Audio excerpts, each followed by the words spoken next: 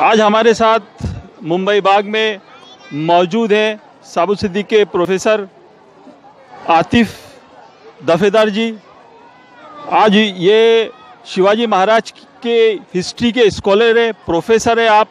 आप संविधान की, इन्होंने संविधान, क्या है संविधान हमारा कैसा है? संविधान ने हम, बाबा साहेब डॉक्टर अंबेडकर ने हमें क्या हक दिया?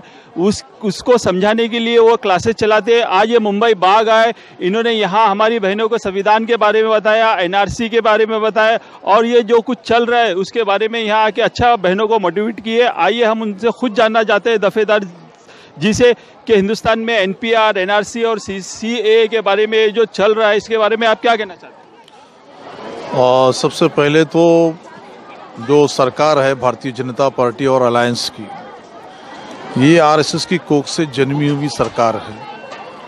और ये सरकार का सी और एनआरसी लाने का जो सबसे बड़ा मकसद है, वो ये है कि भारत की एक बहुत बड़ी आबादी, जो कि एस सी एस टी और ओबीसी की है माइनॉरिटीज़ की है उनको मतदान के अधिकारों से वंचित करना है, मतदान अधिकार उनका छीन लेना है, ताकि इस देश में बाबा साहब अंबेडकर का संविधान ख़त्म हो जाए और मनुस्मृति लागू हो जाए। इसलिए ये सिर्फ़ दिखावा है सीए और एनआरसी का जो असल एजेंडा है, इस देश को मनुस्मृति का राज्य लाने का जो ब्राह्मण राष्ट्र है, उस पर काम करना है। दफेदार जी, एक सवाल और जो पूंजीवादी पूंजीवादी चल रही है, इसके बारे में आप क्या कहना चाहते हैं? भारत में जब 2014 में मोदी जी की सरकार बनी थी तो उन्होंने कहा था कि मैं देश बिकने नहीं दूँगा और झुकने नहीं दूँगा। लेकिन हम लोग देख रहे हैं कि जितनी बड़ी बड़ी सरकारी कंपनियाँ हैं, एक के बाद एक एक के बाद एक बिकने लगी हैं। और पूरे विश्व में भारत का सर बार बार झुकने भी लगा है। उसका एक अच्छा नमूना जो आजकल ट्रंप आने वाले हैं, किस तरह से गरीबी को छुपाया जा रहा है और सारी दुनिया में भारत की नाक कटाई जा रही है। और रहा सवाल पूंजीवादी का तो आप ये समझ लीजिए कि जितनी फ़ायदे की कंपनियाँ हैं, वो भी बेची जा रही है। एयर इंडिया के लिए खुद पीयूष गोयल ये कहते हैं कि अगर मैं मिनिस्टर नहीं होता तो मैं खुद ही एयर इंडिया को ख़रीद लेता। ये सारी चीज़ें बहुत ही स्पष्ट रूप से हमको ये बताने के लिए काफ़ी है कि भारत की जितनी कंपनियाँ सरकारी हैं, उन सबको बेचा जा रहा है। और इसलिए बेचा जा रहा है ताकि इसमें से पूरा आरक्षण ख़त्म हो जाए, रिजर्वेशन ख़त्म हो जाए और प्राइवेटाइजेशन के ज़रिए पूरे देश की कंपनियों को बेचकर गिनती के जो उंगलियों पर गिरे जाने वाले जो इंडस्ट्रियलिस्ट हैं, उनको सारी के सारी कंपनियाँ बेचकर उनको इस देश का असल मालिक बना दिया जाए और पूरे देश को गुलाम बना दिया जाए। तो ये दफेदार जी का कहना था कि भारत की सारी कंपनियों को बेचा जा रहा है जितनी भी कंपनियाँ हैं, और फिर से एक बार भारत को गुलाम बनाने की कोशिश की जा रही है। हमारे साथ अब्दुल बारी साहब है। मैं उनसे जानना चाहता हूँ जो ये जो ट्रंप आ रहा है और काफ़ी काफ़ी करोड़ों का खर्चा हो रहा है, और एक तरफ़ तो कई करोड़ लोगों की नौकरियों का सवाल है, और बेरोज़गार की, बेरोज़गारी इतनी है, और सारी कंपनियाँ बेचे, बेची जा रही है, और बैंक करप्सी कितनी ख़त्म हो चुकी है, हिंदुस्तान की पूरी अर्थव्यवस्था बिगड़ चुकी है। अब्दुल बारी साहब।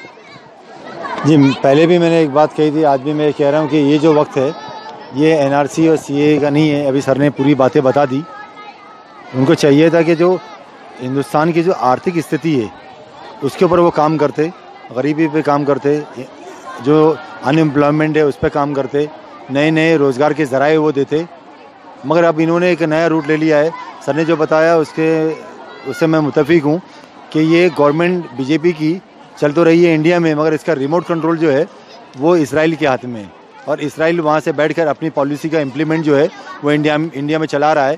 और ये जो शाहीन बाग के इस तरह जो एहतजाज जो हमारे पूरे देश में हो रहे हैं, ये एहतजाज इस बात की तरफ़ इशारा करते हैं कि अब ये देश चुप नहीं बैठेगा। आज अपोजिशन ख़त्म हो चुका है। आप ये देखिए कि हमें उम्मीद थी कि ये जो बिल है, ये जाके कहीं ना कहीं राज्यसभा में रुक जाएगा। मगर राज्य सभा से भी बिल पास हो गया। इससे साफ़ ज़ाहिर है कि अब हमारे देश के अंदर जो हुकूमत जो कर रही है, सत्ताधारी पक्ष है, उसके सामने विपक्ष नहीं है। मगर मैं आपके माध्यम से कहना चाहता हूँ कि जनाब माननीय मोदी जी और जनाब गृह मंत्री जी, जितना बड़ा विपक्ष वहाँ बैठा नहीं है पार्लियामेंट में, आज उससे बड़ा विपक्ष जो है, आज रोड पे आ चुका है और आपके सामने एक बड़े विपक्ष की लड़ाई है। और आप ध्यान रखना कि अगर आपने ये बिल वापस नहीं लिया तो आपको फिर सपने में भी हुकूमत के ख्वाब नज़र नहीं आएँगे आपको। ये थे अब्दुल बारी साहब। इनका कहना है कि हुकूमत तो चल रही है हिंदुस्तान में, मगर इसका रिमोट कंट्रोल इसराइल में। जिस तरह से हिंदुस्तान में बेरोज़गारी, महँगाई और सारी कंपनियाँ बेची जा रही है तो अब्दुल बारी साहब का कहना है कि ये इसराइल की रिमोट वाली हुकूमत है। तो अब्दुल बारी साहब, ये जो आपने कहा है कि इसराइल वाली रिमोट वाली हुकूमत है तो ये कैसे आपने कह दिया? और ये ये हिंदुस्तान में ये जो एन आर सी सी ये क्यों लाया गया? और जो बेरोज़गारी और जो इतना बुरा बुरा माहौल चल रहा है, क्या हो रहा है? देखिए, बाबा साहब अंबेडकर जी ने जो संविधान दिया है उसमें हिंदू, मुसलमान, सिख, ईसाई तमाम लोगों को इक्वल उन्होंने दर्जा दिया है। अब इतने हमारे भाई, हिंदू भाई क्या इसमें नहीं जाएँगे? क्या इसमें दलित भाई नहीं जाएँगे? कि क्रिश्चियन भाई नहीं जाएँगे? सिख भाई नहीं जाएँगे? पंजाबी भाई नहीं जाएँगे? तो ये एक, उन्होंने खाली एक वो ला लिया कि भाई हम सीए में मुसलमानों को नहीं लेंगे। ये डिवाइड एंड रूल की जो इनकी पॉलिसी है, ये हिंदुस्तान की पॉलिसी नहीं है। ये पॉलिसी वहाँ से आई है, जिसका मैंने अभी नाम दिया इसराइल से। तो ये तो साहिब ज़ाहिर है ना? कि आप डिवाइड एंड रूल की फिर से पॉलिसी लाना चाहते हो? कितने, आज हमारा दलित भाई भी कह रहा है, सिख भाई कह रहा है, हमारे जो पीसफुल जो हमारे हिंदू भाई है, वो भी कह रहे हैं कि ये सबके लिए एनआरसी है, सब इसमें जाएँगे। हमारे जो पुलिस डिपार्टमेंट के लोग जो महाराष्ट्र में यहाँ, ये प्रोटेस्ट के अंदर जो 24-24 घंटा ड्यूटी दे रहे हैं, कल क्या उनको एनआरसी के लिए नहीं जाना पड़ेगा? मैं कहता हूँ कि मोदी जी को सबसे पहले ये चाहिए था कि वो डाउटफुल उनको लगता है कि हमारी जो नागरिकता वो डाउटफुल है।